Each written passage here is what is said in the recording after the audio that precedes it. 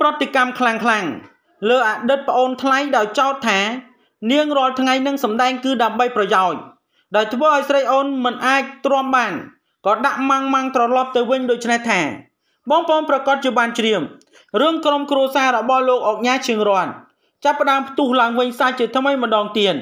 គឺក្រោយពេលដែលរឿងនេះគឺត្រូវបានក្រុមគ្រួសាររបស់លោកអុកញ៉ាហាក់បីដូចជាមិនអាចអត់អន់ឲ្យស្រីអូនបាន ជាពិសេសស្របពេលនៅក្នុងបច្ចុប្បន្ននេះគឺបានចោទប្រកាន់ទៅលើអ្នកនាងស្រីអូន ថាគឺជាអ្នកដែលធ្វើឲ្យបងប្រុសរបស់គេលាចាកលោកនេះយ៉ាងណាមិញរហូតមកទល់នឹងពេលបច្ចុប្បន្ននេះទោះបីជាក្រុមគ្រួសារនិងខាងអ្នកនាងស្រីអូនប្រកាសទៀមទារថយន្តម៉ាក500ចិនផ្ទះលំហែនិងក៏ដូចជាផ្ទះនៅព្រៃវែងដែលមានតម្លៃជាង1លានដុល្លារត្រឡប់មកគ្រប់គ្រងវិញ គឺមិនទាន់បាននៅឡើយទេ ក្រោយពេលដែលលោកមេរទីអះអាងថា គឺក្មួយរបស់លោក គឺចេញទៅមានតែរថយន្ត500ចិត្តមួយគ្រឿងនិងខោអាវមួយវ៉ាលី ដូចជាលីអូនិងក៏ដូចជាខោនិងក៏នឹងមិនត្រឹមតែប៉ុណ្ណោះស្រោមជើង ស្រាប់តែនៅក្នុងពេលថ្មីថ្មីនេះ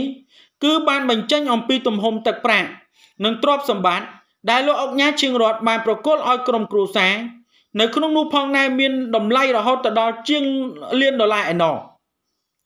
យ៉ាងណាមិញបើយោងទៅតាមការបញ្ជាក់នៅក្នុងគណនី Facebook របស់អ្នកនាងស្រីអូន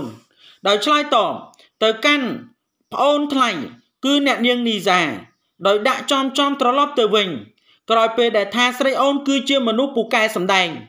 នៅក្នុងនោះផងដែរស្រីអូនក៏ដាក់ទៅវិញថានីសាគឺប្រកែសម្ដែងជើងបងទៅទៀតមានអ្នកចូលទស្សនាជិត 10M ពាក់ព័ន្ធជាមួយនឹងរឿងនេះសូមជម្រាបផងដែរថា បើយោងទៅតាមគណនី Facebook របស់ស្រីមូលនាងបានសរសេររៀបរាប់ថា នៅក្នុងនោះផងដែរនេះគឺជាផ្ទះលំហែនិងក៏ដូចជារថយន្តម៉ាក500ចិនបើតាមដំណឹងឲ្យច្បាស់ការដែលគេបានឲ្យដឹង បន្ទាប់ពីលោកឈៀងរ័នបានលាចាកលោកទៅ មានអ្នកបើកឡាន507ពណ៌សនេះហើយចូលទៅរើរកនៅអ្វីដែលមិនដឹង នៅក្នុងឡាននេះជិត1ម៉ោងបន្ទាប់មក ក៏មានមនុស្សប្រុសម្នាក់ឡើងបើករថយន្តម៉ាក507ពណ៌សនេះនិងបើកចេញតាមរថយន្តម៉ាក Long Cruiser ពណ៌សដែលមានស្លាកលេខឈ្មោះនីសាអញ្ចឹងមកដល់ពេលនេះ គឺឡានម៉ាក507ពណ៌សនេះគឺក៏បាត់ស្រមោលសូនឈឹងជុំមិនចេះបងប្អូន ហើយផុសទាប្រហែលថ្ងៃហើយក៏មិនឃើញប្រគល់ឡាននេះមកដល់បងស្រីខ្ញុំវិញដែរអញ្ចឹងមានតែចាត់ការតាមនីតិវិធីផ្សេងហើយអញ្ចឹង ព្រោះគេទាសូមឲ្យវិញ ត្រឹមត្រូវស្រួលស្រួលអត់ឲ្យគេវិញទេ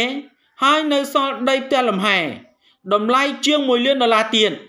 ដែលមានទូរស័ព្ទកុំព្យូទ័រនិងដែលរបស់លោកអុកញ៉ាជើងរត់នៅក្នុងការរៀបរាប់របស់ស្រីមូលនេះ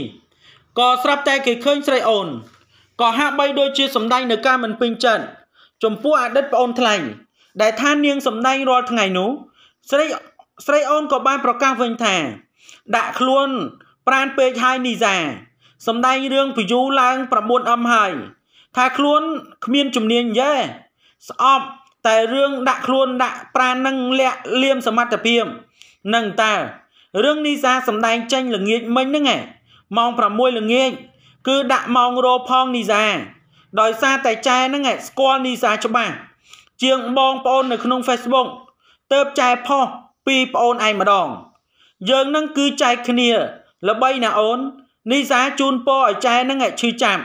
តែនីសាឆាតទៅសួរសុកទុកចែផ្ដែផ្ដាំកុំអោយចែហ្នឹងនៅម្នាក់ឯងដឹងថាមនុស្សហ្នឹងធ្លាប់គិតខ្លីលេបថ្នាំមុន អាម៉េចទេអីអញ្ចឹងដូចតែគ្នាម៉េះក្រុមនេះនឹងផោឌៀមណាមខ្ញុំហើយលុបវិញ ចាំចេញមកមុខមកណាប្អូនស្គាល់មុខ មនុស្សល្អល្អម្ដងមួយម្ដងមួយកុំគិតថាស្រីអូនបិទបញ្ជា គឺក្រុមអូនសុទ្ធតែជាមនុស្សល្អអញ្ចឹងអូនតាំងខ្លួនឈប់ផោឌៀមណាមចែទៅ ហើយមានអ្នកដែលខ្លះហ្នឹងលុបផោប្លុកចែដែលផោតែធัว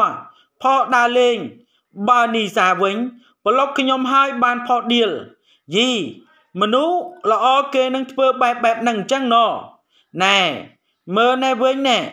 គឺស្រីអូននឹងគឺជាមនុស្សអាក្រក់អន់ចរិតពូកែសំដែង តែសុំបបងប្អូនចរិតពិតមួយចំនួនឲ្យមនុស្សល្អទាំងពួងនេះយល់ផង ច្បាស់លាស់និងលះលះហ៊ានស៊ីហ៊ានសង មិនខ្លាចនឹងទទួលស្គាល់ការពិតនៅអ្វីដែលខ្លួនបានធ្វើអត់ថាអត់ខុសនឹងត្រូវថានឹងត្រូវឃើញមិនថាអញ្ចឹងហ៎មិនចង្អុលថាគេអាក្រក់ហើយអួតថាខ្លួនឯងល្អ នេះគឺជាចរិតស្រីអូនបូស្បាมันល្អគ្រប់10តែมันចូលចិត្តទៅជន់គេយកសំណើចនឹងប្រចាំសប្តាហ៍ដោយក្រុមអូនទេចែចូលចិត្តស្ងាត់តែក្រុមអូនចូលចិត្តអាលេងជូនតាមសំណុំពោត្រៀមទស្សនិកជនជាទីមេត្រីលខោនទៅតែចាក់បញ្ចាំងនឹងមិនងាយបញ្ចប់ទេ គួរតែចែកគ្នាចេញដែរនឹងមិនមែនចេញបែបប្រសេកប្រសាច នឹងក៏ដូចជាគ្មានតួឯកតួរងចឹងទេឯកនឹងឲ្យដឹងឯករងឲ្យដឹងរងយល់ទេបើចង់ល្បីក៏ត្រូវតែឲ្យចែល្បីខ្លះខ្លះដែរគឺមិនកាចឲ្យគេស្អប់ក៏មិនស្លូតឲ្យគេជន់ដល់បាត់ដីដែរស្រីអូនបូស្បា តែគួរតែចេញមកក្រោយពេលដែលអូននឹងសុំហើតិចមើលពីព្រោះថាវគ្គមុនហ្នឹងក្រុមប្អូនសំដែងបងស្លូត អត់ដូចចែយ៉ាងណាមិញអញ្ចឹងដឹងសុំចូលតួនេះគឺជាការលើកឡើងរបស់ស្រីអូនក្រោយពេលដែលរឿងរ៉ាវមួយរយៈចុងក្រោយនេះគឺកំពុងតែផ្ទុះនៅរឿងរ៉ាវរបស់រូបនាងនឹងក៏ដូចជាប្អូនថ្លៃកំពុងតែឌឺដងគ្នាដូចជានៅព័ត៌មាននេះមានប៉ុណ្ណឹងដើម្បីទទួលបាននូវព័ត៌មានថ្មីៗបន្ថែមទៀតសូម Subscribe និង Like